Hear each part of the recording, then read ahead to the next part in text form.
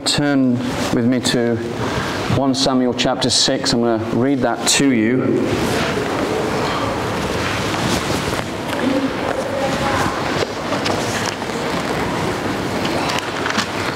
starting then at the, the very top. Now, the ark of the Lord was in the country of the Philistines seven months. And the Philistines called for the priests and the diviners, saying, What shall we do with the ark of the Lord? Tell us how we should send it to its place.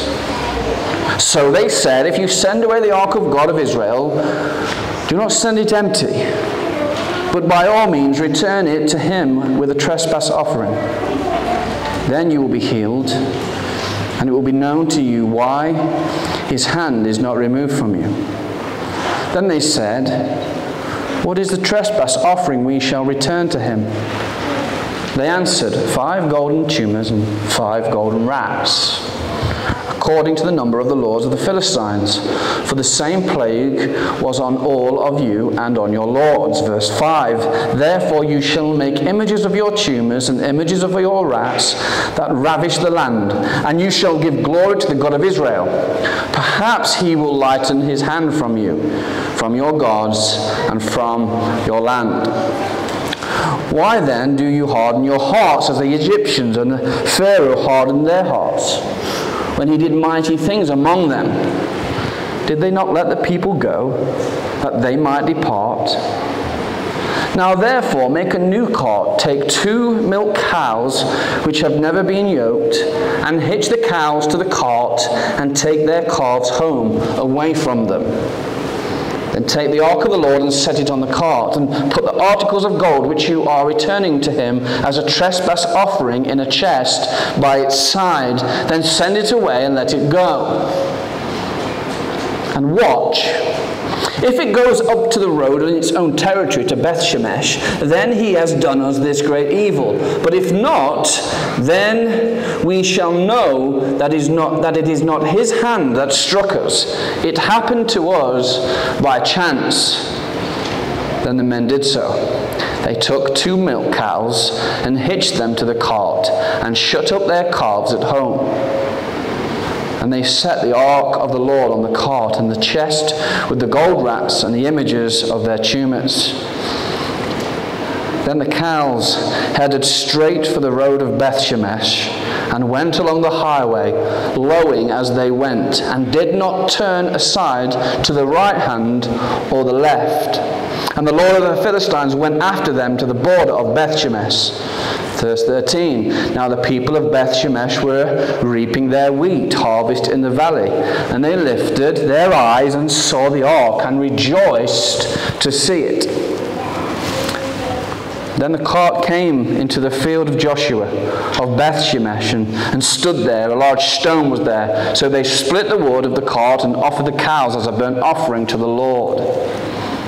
The Levites took down the ark of the Lord and the, and the chest that was with it, in which were the articles of gold, and put them on a large stone. Then the men of Beth Shemesh offered burnt offerings and made sacrifices the same day to the Lord. So when the five lords of the Philistines had seen it, they returned to Ekron the same day. These are the golden tumors which the Philistines returned as a trespass offering to the Lord one for Ashdod, one for Gaza, one for Ashkelon, one for Gath, and one for Ekron. And the golden rats according to the number of all the cities of the Philistines belonging to the five lords, both fortified cities and country villages, even as far as the large stone of Abel, and on which they set the ark of the Lord, which stone remains to this day in the field of Joshua of Bethshemesh. Verse 19 the final verse Then he struck the men of Bethshemesh because they had looked into the ark of the Lord. He struck 50,000 and 70 men of the people, and the people lamented because the Lord had struck the people with a great slaughter. Forgive me, verse 20. And the, and the men of Bethshemesh said, Who is able to stand before this holy Lord God? And to whom shall it go up from us? So they sent messengers to the inhabitants of Kirjath Jearim, saying, The Philistines have brought back the ark of the Lord. come down and take it up with you. Let us pray. Father, we indeed commit ourselves for you, to you in this short time together. We ask, I ask, no doubt those sat before me would ask that you would speak to us, help us, help me. Lord, what does what would you have to say to us on this eve? Help us, O oh God, by your Spirit. In the name of Jesus. Amen. So here we are again. 1 Samuel chapter 6. I want to say to you, I've never heard anyone preach on this in my time in being in church. I was, um, well, Nick, you know Nick, he's always up for a laugh. He said, because he's, he's next week, chapter 7. He said, I had to read the context. I read chapter 6 and said, I'm glad I'm not doing that one. it's quite the chapter, isn't it? It's quite the chapter. And I found myself thinking, how do I tackle this one? How do we look into this. Again, I know in part this is repetition, and I think most of us have said it, but I'll say it again. Within these chapters, we've got to glean what we think is right for us and right for you. What, what, where do we go? There's probably, you know, we can't put a number of sermons that's in that chapter, but where do we go? What do we do? Early on Thursday morning, I woke up thinking about golden rats and tumours and carts and cows. That was the thing that I was, or in all honesty, sat in my study thinking of. Carts and cat, not cats, cows, not cats, tumours and rats.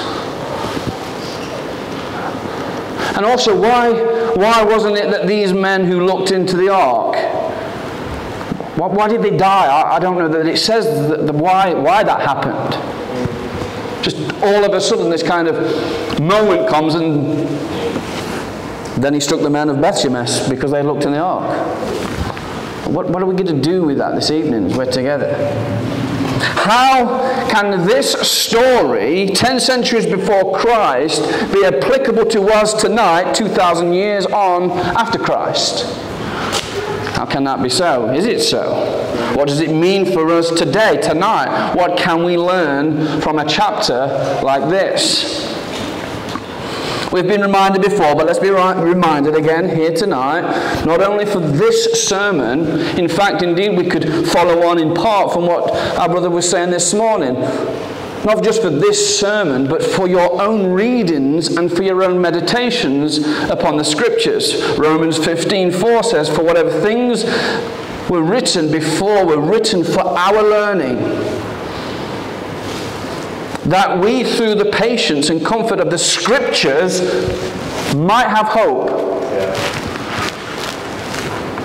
Saints, the, the chapter to which we look at tonight is as much inspired as Genesis 1. It is as much inspired as Ephesians 5 or Psalm 23.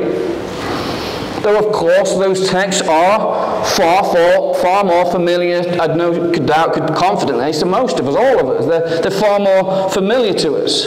Yet, as we consider this together tonight, let us, with the same urgency and with the same passion, look at this chapter, knowing that it was penned by the Holy Spirit for our learning, and that through this we might have hope. Then where do we start? Where do we start?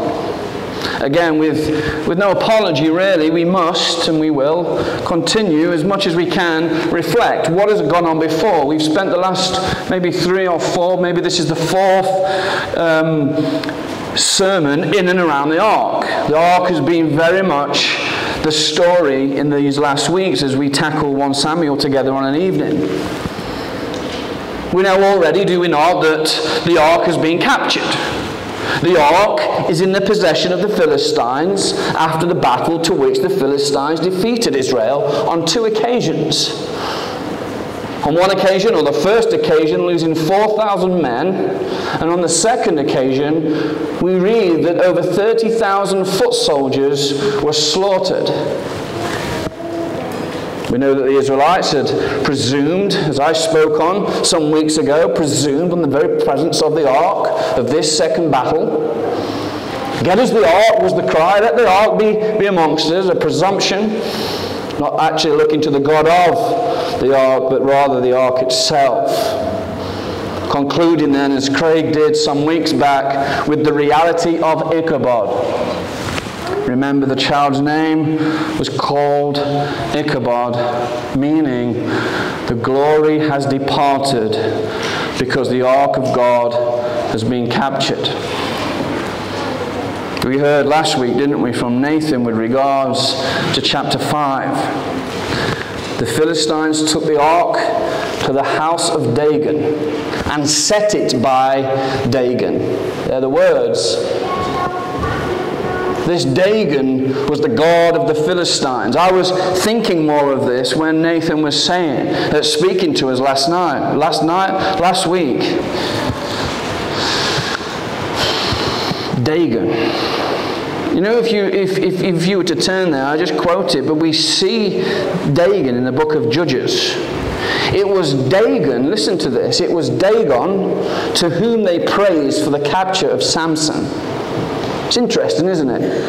It's Dagon they praise for the capture of Samson. It says that in, in Judges 16 23. Now the Lord of the Philistines gathered together to uh, offer a great sacrifice to Dagon their God and to rejoice. And they said, Our God has delivered into our hands Samson, our enemy. That puts a, another, another layer, if you like, not, not by any means does Nathan's sermon need another layer, but it puts another layer of exactly what the application was. That they thought that their God Dagon had delivered into their hands Samson whom we know, don't we? And that's really, we jump ahead where we'll conclude again this evening. That Christ crushes the head of the serpent. That he is the one who defeats his enemies and he makes a public spectacle of them. You see, Dagon then was this one to whom the Philistines looked to and worshipped, and certainly, as already noted, accredited praise to him for his, for his protection and deliverance. Yet now in chapter 5, as we were so wonderfully encouraged to note last week, we see the presence of the ark deal with Dagon. The first morning of the ark being in the house of Dagon, the so-called god of Dagon. I, I, if you read it, if you read it, go back and read it at some other point. It's lovely how it's, how it's put that, that Dagon was fallen on its face. Every knee shall bow, every tongue confess that Jesus Christ is Lord to the glory of God our Father. Amen. Isn't it, in some sense, we make these, these, these, these, chapters complicated, but as we begin to, to read them through the eyes, uh, hermeneutically, properly, applying it rightly to the whole realm of Scripture, what we see is Christ is King. Second morning, Dagon's head and palms of his hands were broken off. Question then, in response to all of this, was from the Philistines, What shall we do with the ark of the God of Israel? We see that in chapter 5, verse 8. We see, if you like, the, the ark passed around the Philistines like a hot potato from Gath to Ekron and possibly other places too. Wherever the ark was, it was like the scene as we read throughout, remember, the, the, the story of the Exodus and all the Lord did there. Nathan um, opened that up last week. We see this great scene taking place. Wherever the, the ark went, there were, in the eyes of the Philistines, trouble. Trouble had come to them. And then we find ourselves in chapter 6, of, to which we shall spend some time considering. You see, this, this chapter then opens up by telling us all really that Nathan addressed with us last week all took place for seven months. Now, is that there by accident? Is that there just for no reason?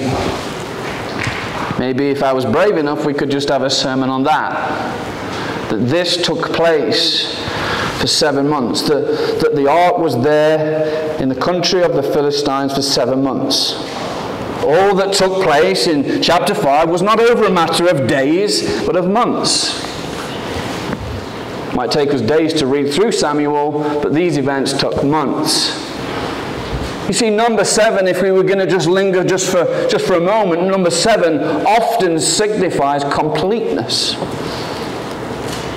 Maybe here then, in this verse, we see the time of the ark being with the Philistines is over. It's over. The time of seventh months is now complete. I don't know what that verse makes you think as you read that opening verse there in chapter 6. The ark of the Lord was in the country of the Philistines seven months. Does that make you think? If we, we are thinkers when we read our Bible, what does that do when we read that? Can we ask ourselves anything? What was life like for Israel within that time?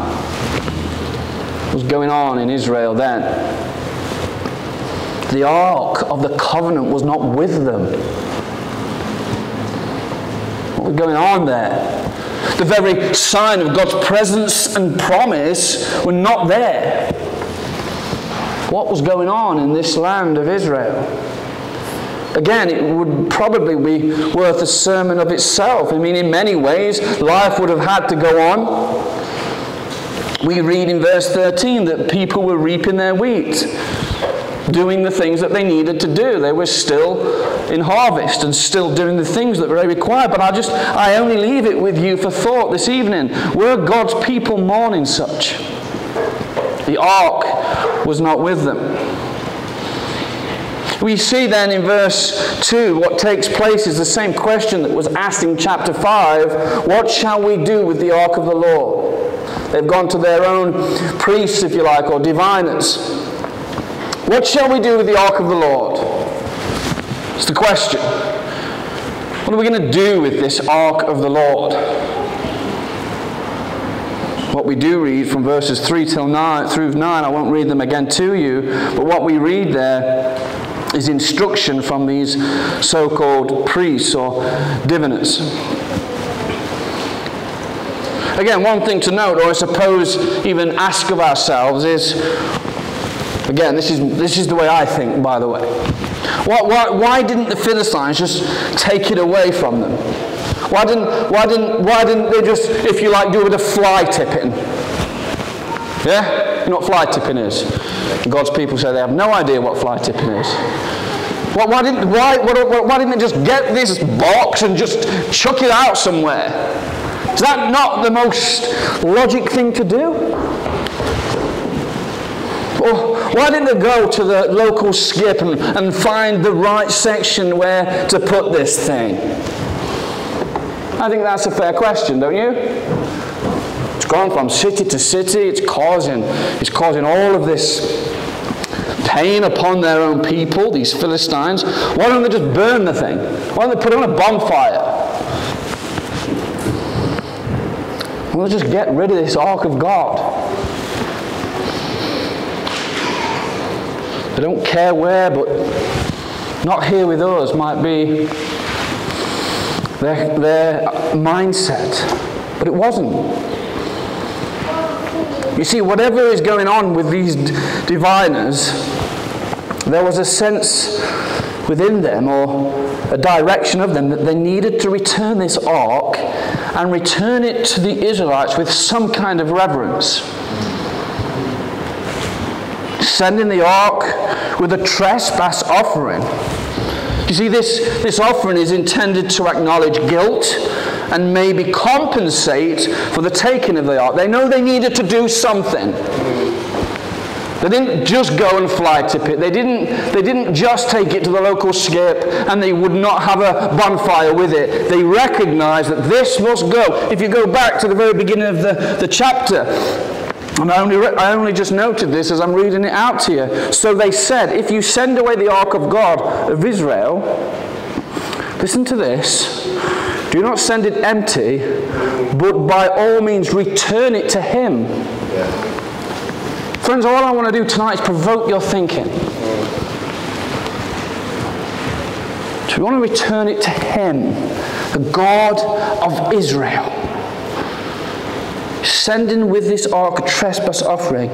This offering is intended, as I've already said, to acknowledge something of guilt, a guilt offering, we could term it, maybe a compensate for this. Verse 5 says, Therefore you shall make images of tumors. I don't know what they look like, but of tumors and of images of your rats. Some translation says mice. Excuse me. that ravish the land, and you shall give glory to the God of Israel. Perhaps he will lighten his hand from you, from your gods, and from your land. Stay with me.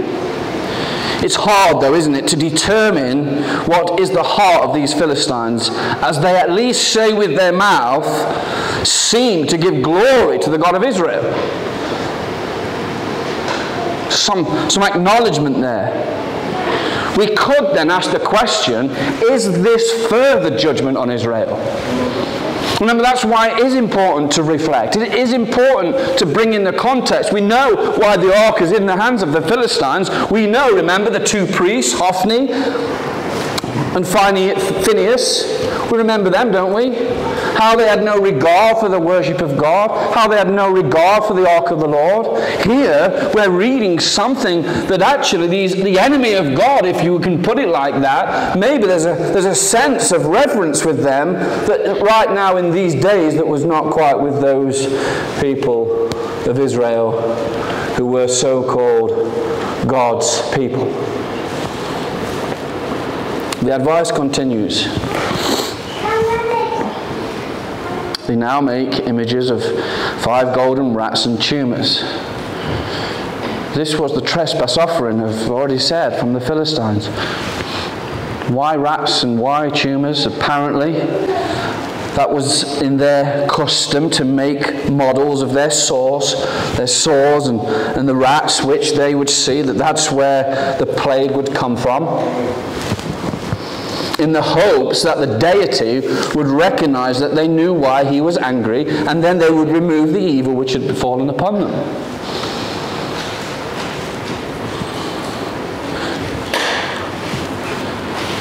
Again, it goes on into verse 6. Why then do you harden your hearts as the Egyptians and the Pharaoh hardened their hearts when he did mighty things among them? did they not let the people go that they might depart? Some knowledge here, isn't there? Some reflection of what was. These diviners had compared that which is happening to them to that which took place with Egypt and the hardening to which Pharaoh and the Egyptians had. Maybe then in, the, in this camp there were those who didn't want to send the ark back. Maybe, maybe that's a question. Maybe they're saying, no, no, no, we, we keep this. Maybe that, that's a reality. Then maybe there were those who understood, as we read, that the hand of the Lord was heavy upon them, and to harden one heart would be both ignorant and foolish cannot deny that the God, this God of Israel, has brought this upon us like he brought it upon Pharaoh and his friends. There was some recognition of that. They knew their history. They looked back and said, that's what took place in Egypt. Again, Nathan uh, opened that up to us last week. But here there is some reference to that. Why are you hardening your hearts to this? We've seen this happen before.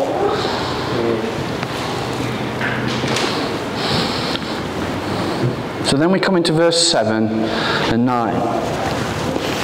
And really, it's there I want to stay. Verse 7 and 9. As again, remember on Thursday morning, and I don't just say for effect, I woke up thinking about cows and carts, thinking there's something in that. Cows and carts. Johnny, maybe we could call this sermon Cows and Carts. Verse 7. Now therefore make a new cart. Take two milk cows which I have never been that has never been yoked, and hitch the cows to the cart, and take their calves home, away from them. Then take the ark of the Lord and set it on the cart and put the articles of gold which you are returning to him as a trespass offering in a chest by its side. And send it away and let it go. And watch. If it goes up the road to its own territory, to Beth Shemesh, then he has done us this great evil. But if not, then we shall know that it is not his hand that struck us, it happened by chance. I think what we see here is another 1 Kings 18 kind of moment. 1 Kings 18, you'll remember, fire fell on the altar. And we knew by that that this was the God of Israel.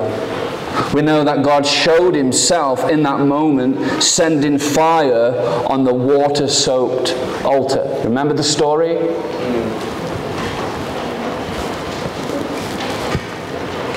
I think that's what we have here.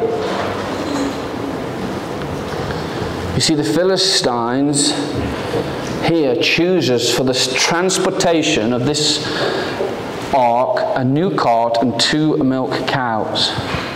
It almost has some humor to it, doesn't it? In, in, I suppose what we'd say around here, this is weird. This seems somewhat odd as we read through this narrative. What odd transport! A cart that has never been ridden and two cows that has never been yoked surely this won't get the ark to its destination. Surely not. You see, uh, let me read verse 9 again and watch. If it goes up the road to its own territory, to Beth Shemesh, then he has done us this great evil. What great evil? All that great evil to which Nathan spoke to us about last week. All that took place all that took place in the cities that we read of in, in chapter 5. But if not, so if, if this, these two, two cows and this cart that they've made, if it doesn't get them there, then we shall know that it is not his hand that struck us. It happened by chance.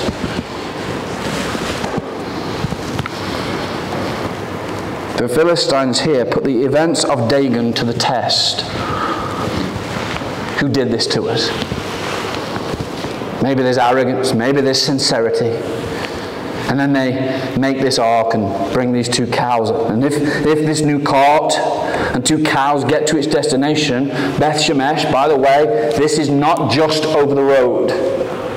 This is apparently about seven miles away seven miles away. Just think logically for a minute. Use your mind here. Two milk cows and a cart are going to carry the ark back to Beth Shemesh, which is seven miles away. Which, what, what, I don't know, what, what's seven miles away from here? Sutton, Ashfield? Maybe. How far are you away from here, Nathan? Seven miles. It's going to go all the way to, to Nathan's. Hmm.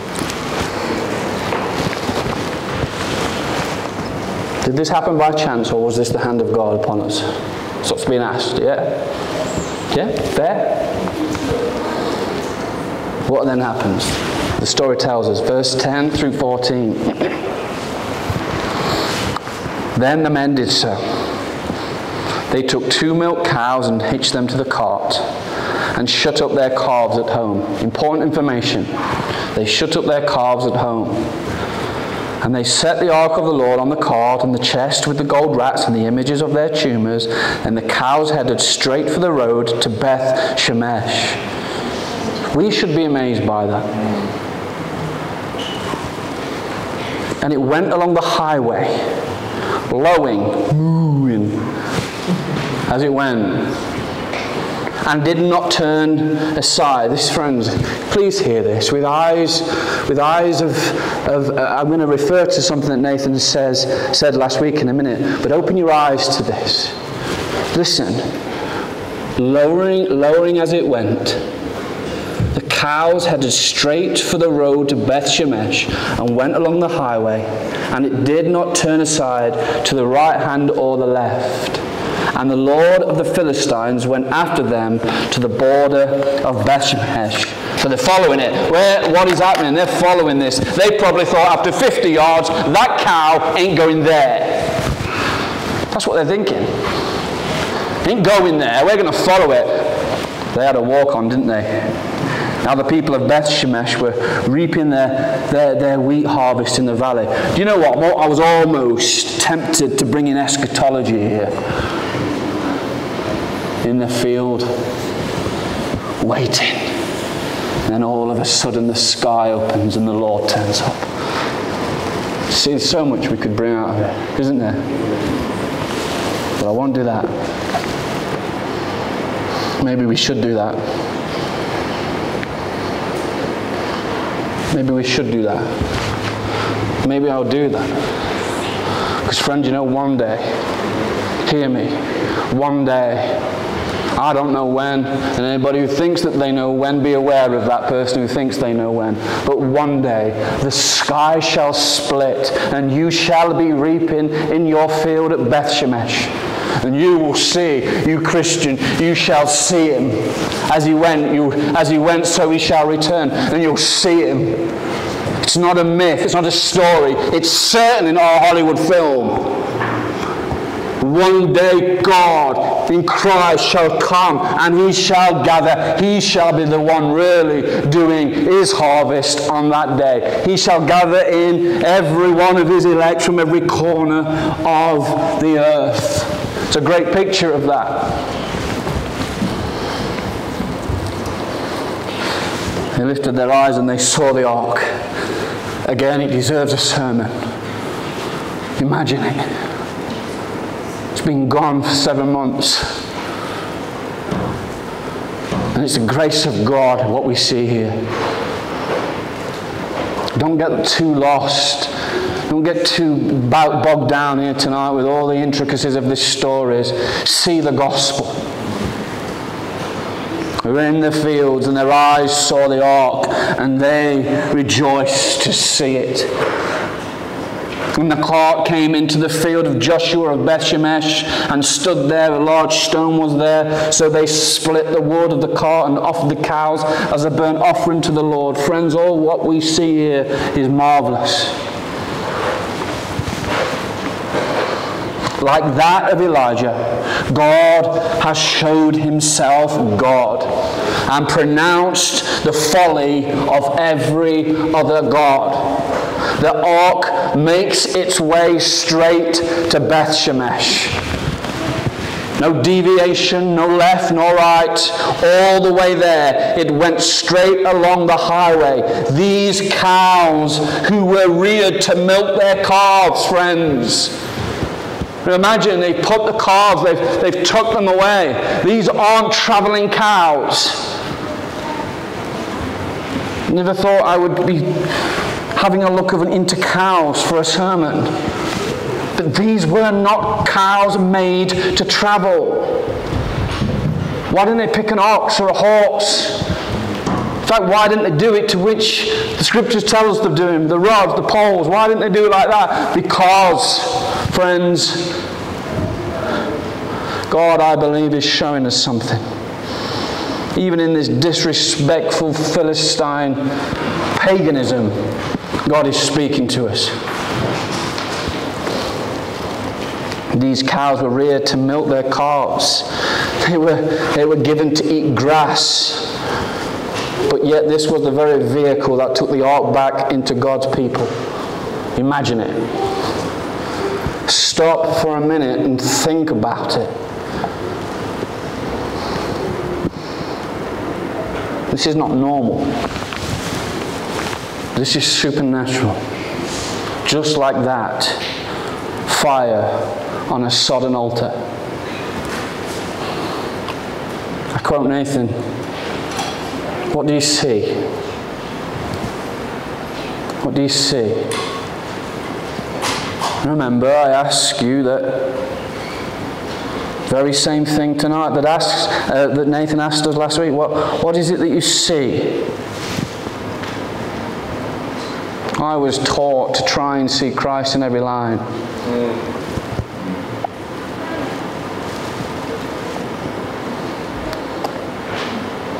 See, it's a, a, little bit like the moment that Lord calls Jeremiah. You Remember what he did? What did he say to Jeremiah? You know? First few verses of Jeremiah, Jeremiah chapter 1. It's exactly what Prophet Nathan said. What do you see? What do you see? Remember? What do you see? Saints, we know that Jeremiah saw well. Do you see well tonight? Do you, as you open the pages of Scripture in your time with the Lord Himself, do you see well? Do you plead that the Spirit would, would open your mind up to the Scriptures? Friends, let me be honest with you. That's my prayer every day. That I would understand the Scriptures, that I might know them that's why I was so blessed with the ministry this morning. So, what do we see in this so somewhat odd story, at least for us as, as Gentiles, at least for us in Alfreton on the 10th of March 2024? What, what, what do we see? You might say, I have no idea. You might now be following me that little bit more. You might say, I'm not even sure what you're asking. What does this story mean to us? What does it mean to you tonight? At least the part to which I home in on. You see, if this was written for, for my instruction and that we might find comfort and hope, I ask you again, how can a story about a rat, a box, a tumour, and a cart and two milk cows, how can that bring me hope?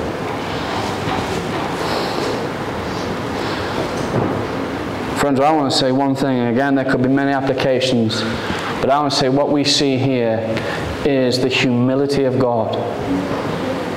The humility of God. We've seen it all the way through our story so far. God turns up to a little boy, not a king. We go further back.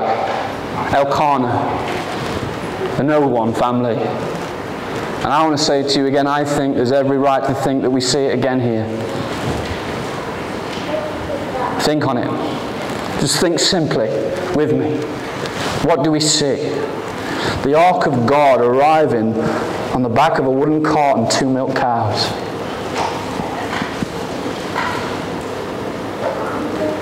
Should not this ark had a, a glorious procession? In Exodus 25, we read some of the detail. We see really that the, that the poles were made so that the ark would be carried by priests.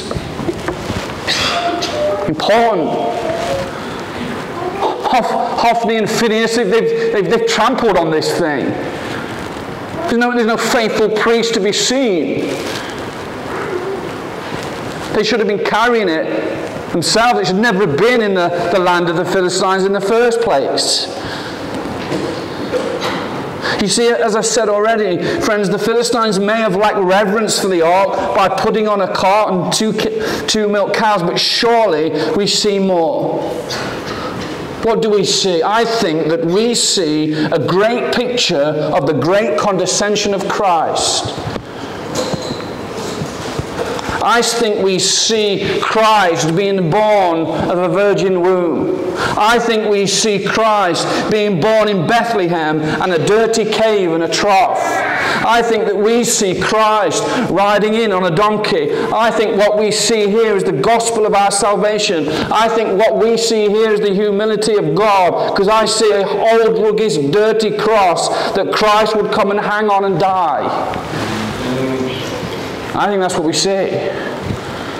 Entering into Beth Shemesh. See, when I read of these milk cows carrying the ark, I read of the God who alone saves his people. I mean, briefly, so often we think that we're the vehicle of all of this. If you like, we're his hands and his feet.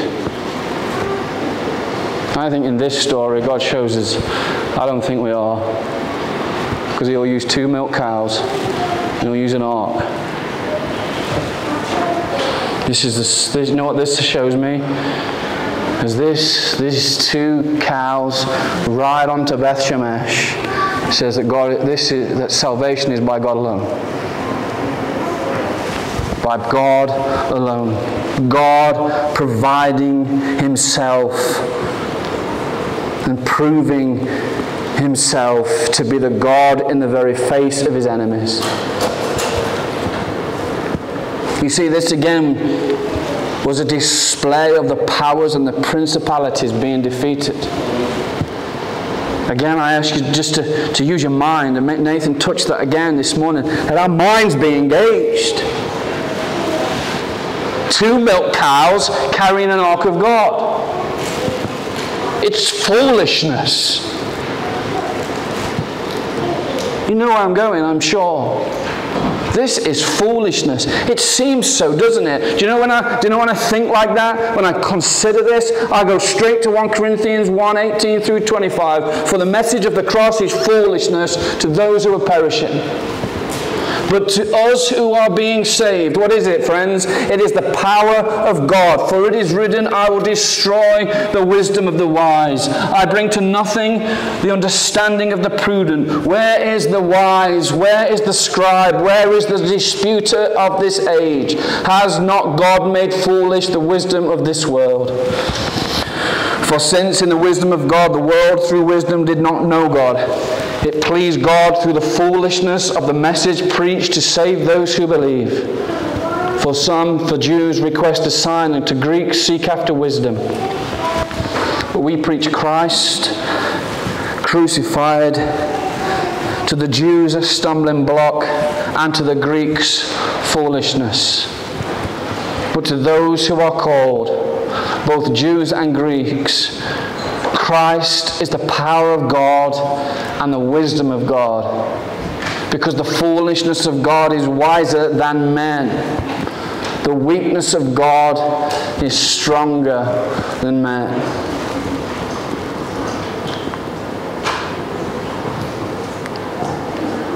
Colossians chapter 2, having disarmed principalities and power.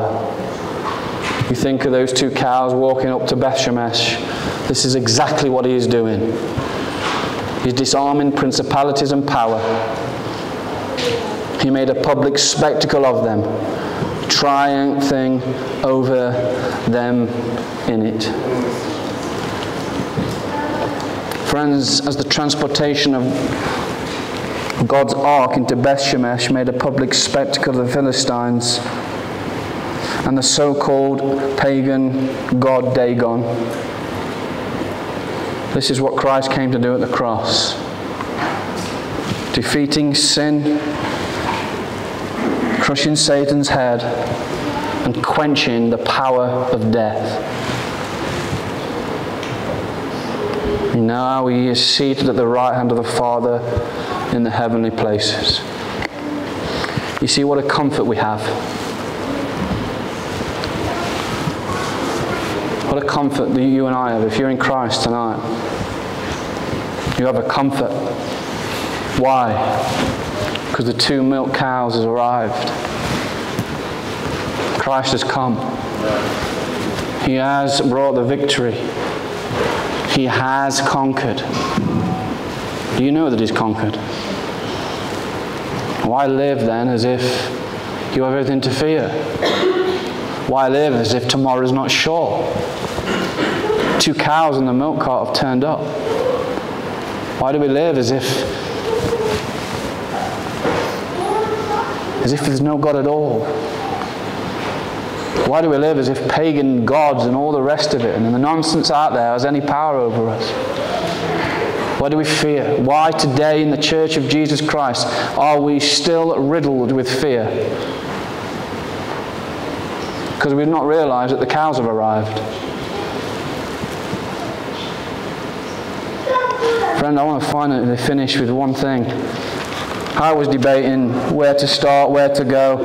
I thought, should we read?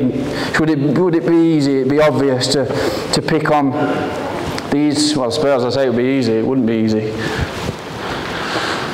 But these men who looked on the ark, how are you looking on Christ? How are you tonight looking upon Him? What have you done with Him? What do you do with him? What shall you do with him?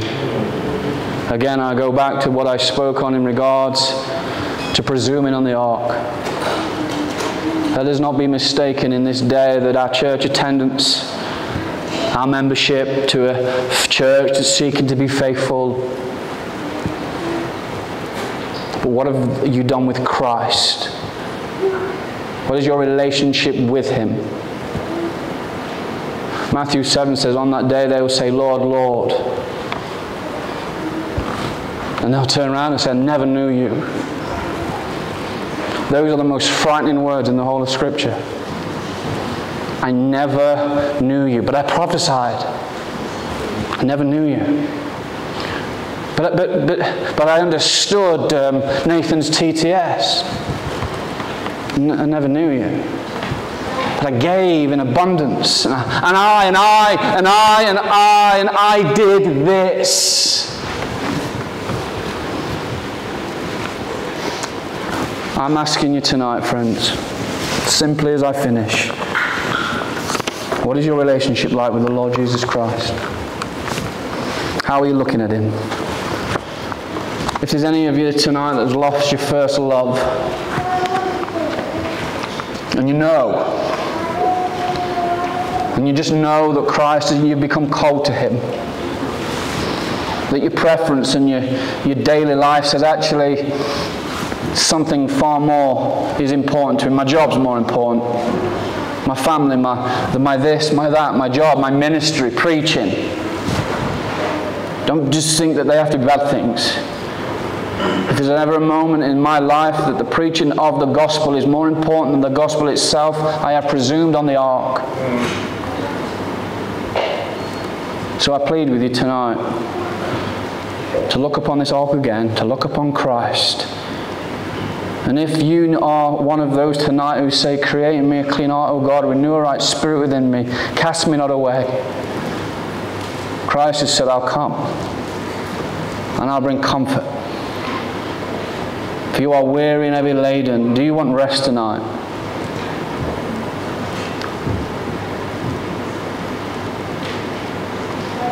What about you who've never actually come? Never bowed the knee. Never confessed with your mouth that Jesus is Lord. I want to say to you, even with more urgency, come. Come and be saved. Come and live the life of being a Christian. Do you rejoice like those in the field? Will you? Time is short. As I visited Julie's family, they said now they know that life is short. Don't presume on life. Don't fixate on that which is temporal. Look to the glory of God, which is found in Christ, who came and died that you might have life. May the God of heaven and earth, by his Spirit, bless us. Amen.